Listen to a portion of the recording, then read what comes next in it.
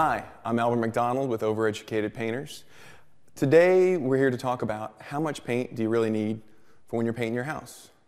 And no matter what the size of your house, 22 gallons should do it. Kidding, kidding. Every house is different. Um, from its size to the quality of the walls and to the quality of the paint that you choose. Um, kind of a good rule of thumb is most paints range from about 200 to 400 square feet per gallon. Look on the back though, it'll, it'll tell you, but that's for one coat. So taking a look around, figuring out how much, how much space you have to paint will help you tremendously in budgeting for the amount of paint that you're going to need, as well as how much you're going to spend if you want to get a higher end paint that's $40 a gallon.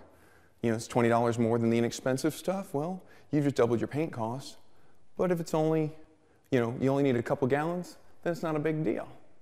So just remember, all depends on the quality of the paint that you pick, you know, how much square footage you have, you know, and of course the colors. Colors are another thing. If you do a red, you're going to do three or four coats. That's going to increase a lot. So don't believe those people that say one coat will do it. We always do too when, with the professionals. One of the reasons to hire a professional is you, when we come into your home, we can gauge and estimate on how much paint you need and tell you about the different types of paint that you should use based off of your home.